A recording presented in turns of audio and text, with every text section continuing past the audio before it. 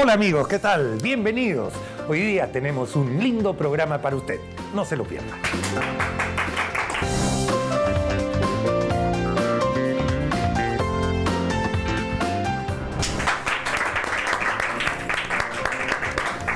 Hola, bienvenidos amigos, muchísimas gracias por acompañarnos en este bloque.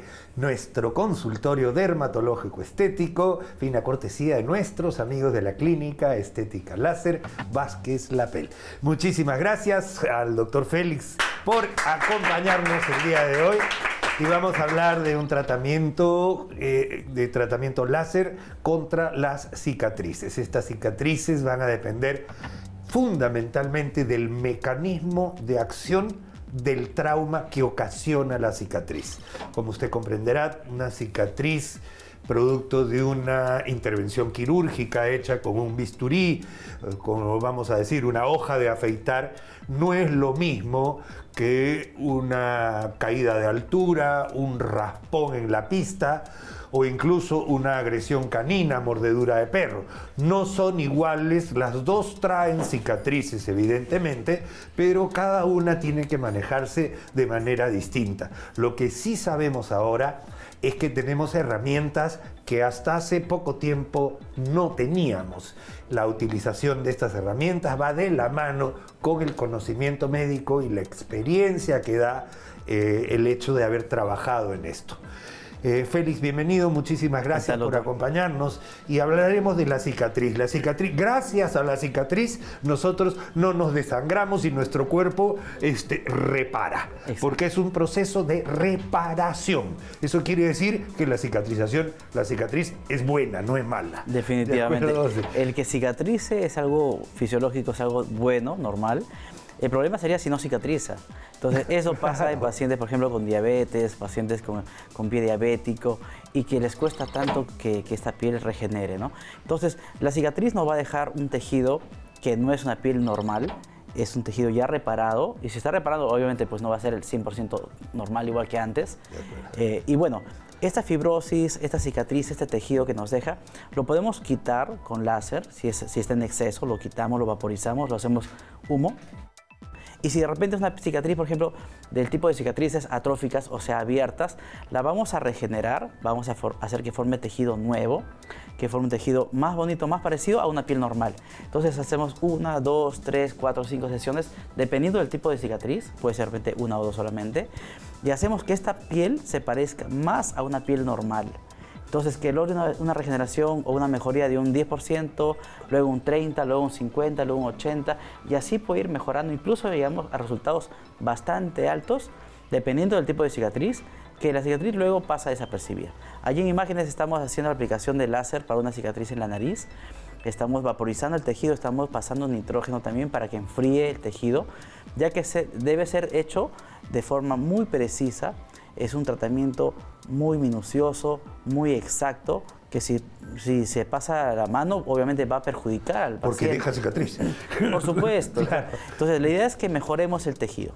Y, y, usando un láser o combinación de técnicas, puede ser varios tipos de láseres, se puede aplicar encima, se puede aplicar un poco de corticoide infiltrado, es decir, con inyecciones, se pueden aplicar eh, cremas, parches de silicona, etcétera. Entonces, combinando estas técnicas, lleno la cabeza el láser, o puede ser un láser de CO2, o puede ser un láser eh, vascular, un láser fotona, vamos a regenerar y hacer que la cicatriz parezca más una piel normal. Doctor, acá una preguntita, porque esto también ha cambiado. Mire, desde que tenemos el programa, eh, o desde que salimos en, televisión, vamos a decir, hace 12 años, ya, ya cerca hacia 13, en ese lapso nada más ya cambió lo que se pensaba del láser. Antes uno decía, hay que dejar que cicatrice por completo para recién tomar acción sobre la cicatriz. Y hoy en día se sabe lo contrario, que cuanto antes empiece el manejo láser, es. mejor el resultado y con menos indicaciones. Correcto. El resultado será mejor, lograremos borrar la cicatriz mucho más que si no lo hubiéramos tratado. Va a ser más fácil también, va a ser más económico para el paciente también y va a haber resultados de forma más pronta. Entonces, la forma, de forma preventiva tratarla con cremas, con láseres, etcétera, logramos resultados mejores. Esto, esto yo lo he visto antes, me lo has enseñado alguna vez y es impresionante realmente. Claro, acá hemos combinado muchas técnicas, hemos hecho una rinomodelación con láser, o sea, en la nariz esas cicatrices elevadas son hipertróficas, o sea... Y son dificilísimas. Son muy complicadas. Las hemos vaporizado y le hemos dado forma a la nariz. Incluso la nariz está de forma más delgadita, más respingadita. Le hemos dado forma a esa naricita. Tremendo. impresionante, de verdad cómo se pueden borrar cosas que antes ni siquiera tenían tratamiento y uno tenía que vivir con esa marca de por vida. ya lo sabe, la ciencia avanza, el conocimiento avanza, siempre en manos especializadas y con experiencia. Esto lo hace la experiencia. Definitivamente. Definitivamente es un trabajo, además muy especial. Así es. Sí, Casi de dedicación, ¿no es cierto? A mí me apasiona el tratamiento de cicatrices eh, y los pacientes que cuando lleguen a la clínica que sepan que es un lugar donde, por así decirlo, la especialidad son las cicatrices.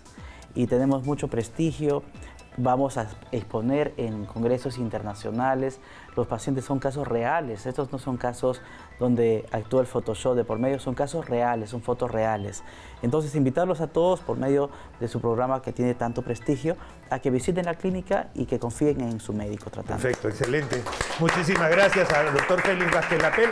Nosotros tenemos, tiene una promoción muy especial. Hablando del tema de cicatrices, tenemos toda esta semana un 30% de descuento en todos los tratamientos de cicatrices. Y también, dentro de las cicatrices también incluimos al tratamiento de cicatrices del acné. Y ese tratamiento que viene tanta gente también tiene un 30% de descuento. Genial. Queridos amigos, muchísimas gracias. Ya lo sabe, le estamos recomendando sitio con absoluta experiencia, manos especializadas y con la mejor tecnología. Nosotros seguimos con el programa. No se vaya, por favor, y siga con nosotros. Continuamos. Hemos tenido un tema muy interesante. Estoy seguro que le va a encantar el siguiente. No se vaya. Hola amigos, bienvenidos. Muchísimas gracias por acompañarnos en nuestro programa, esta vez dedicado a una especialidad que hemos tocado poco durante el transcurso de los años que llevamos en televisión. Se trata de la neurocirugía. Básicamente un médico neurólogo que opera. Miren bien lo que estoy diciendo. Para poder lograr manejar un órgano que todavía no conocemos en su real magnitud.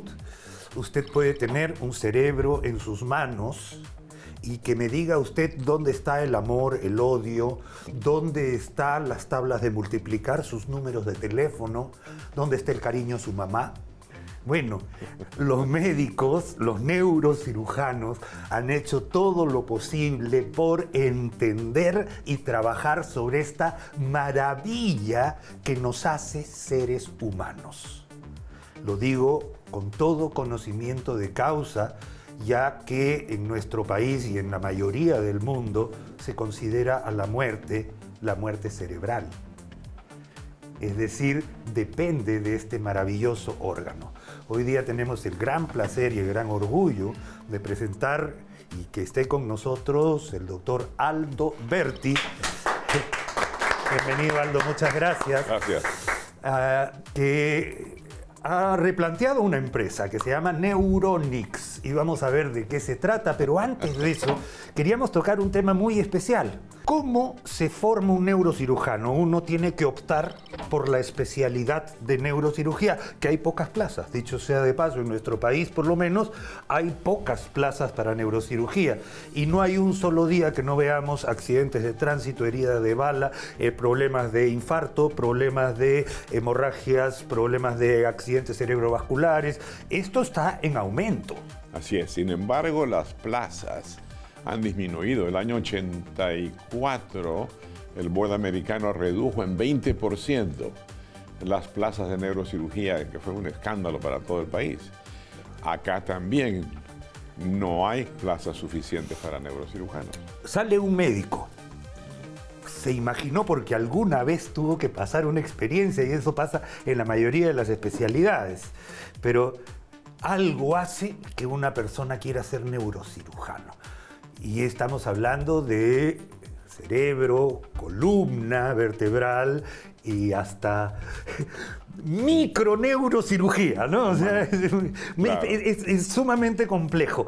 Hay todo un camino que tiene que recorrer un estudiante. Así es, la motivación inicial usualmente es una fantasía, ¿no? Quieren ser neurocirujanos y luego pues tienen que enfrentarse a la realidad que para ser neurocirujano uno tiene que estudiar, uno tiene que publicar, uno tiene que rotar por servicios, uno tiene que conseguir cartas de gente importante, luego dar el examen de ingreso, pasar el examen de ingreso con notas suficientes y por lo general son las notas tope las que entran a neurocirugía.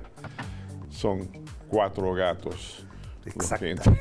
Es, verdad, es verdad. Y eso, y eso es tiempo, porque cuando todos tus amigos probablemente ya están casados, ya tienen hijos, ya tienen casa, carro y plata, tú estás estudiando todavía. Así, yo comencé a los 34 años. Entré a la Facultad de Medicina a los 16 y terminé neurocirugía a los 34. Por Dios, ¿no? claro. Todos mis amigos me decían, ¿por qué no vienes de viaje con nosotros? No, no, tengo tiempo, no, pero no tengo plata. Pero es así. Era un residente. Eh, eh, eh, es correcto. Y además esta especialidad, además, tiene muchísimo que ver ahora con la tecnología, con los avances científicos, los avances en preparación, en manejo, en paciencia, calma, buen humor y en seguir manejando todo. Y es una carrera sin fin. Aldo, acabo de ver que sigues publicando, que sigues trabajando, que sigues estudiando y cada caso es un nuevo reto. Así es, así es. Acá en el Perú también hay una exigencia muy especial para esto. El tema es que ahí no termina tu cartón de neurocirujano no termina con un papel. Tu cartón de neurocirujano tiene que tener muchísimo más peso, como algo que vamos a ver enseguida, que llegar al American Board, por ejemplo, que requiere eh, años de años y además incluso hay que esperar a veces que se muera alguien para poder acceder. y, y, los exámenes anuales que hay que irlos pasando, luego el examen de grado, luego el examen final, que son tres años después de que termine, en los cuales tienes que preparar todos tus casos, presentarlos a un jurado que analiza tus indicaciones, tus técnicas, tus resultados y te toma un examen de seis horas. Dos horas de neurología, dos horas de cerebro, dos horas de columna. Y entonces, y es oral. Ahí no hay que yo me pongo a pensar, no, tú tienes que... Hay una interacción increíble y entonces los que te toman el examen son gente que van a, averiguar cuánto sabes. No van a jalarte, van a averiguar cuánto sabes. Amigos, eso es el mundo de la neurocirugía. ¿Entenderemos el cerebro alguna vez en su magnitud real? Yo esa pregunta la voy a dejar en el aire, querido Aldo, porque eh, es tan maravilloso que se me pone la piel de gallina. Y estamos en evolución, ¿eh? Si uno mira el piso anterior del cráneo, hay lo que se llaman las impresiones digitales y es esta zona la que está siendo deformada por el crecimiento y desarrollo de, de los surcos y las circunvoluciones de la base anterior que están creciendo y que nos van a dar mayor capacidad intelectual por eso es que cuando vemos nosotros las fotografías de los extraterrestres, una, frente, grandota. Y es verdad, porque así se desarrolla el cerebro, la corteza cerebral. Es algo tan difícil de explicar, amigos, pero es así como yo les digo. Somos seres humanos porque tenemos cerebro humano. Muchas gracias. Gracias, Aldo. Gracias a ustedes, queridos amigos. Nosotros vamos a seguir con más de, esta, de este programa. Señora, regresamos en un ratito. Tome lápiz y papel porque tenemos cosas muy importantes para usted. Muy bien.